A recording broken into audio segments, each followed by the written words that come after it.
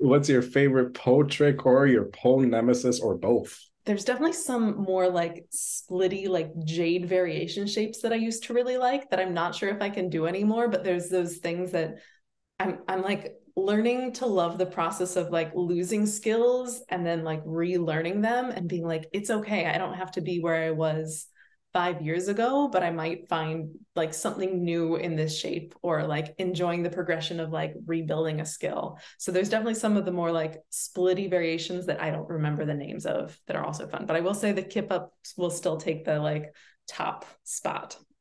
Thank you for saying that. When you come back to tricks, sometimes they're not there.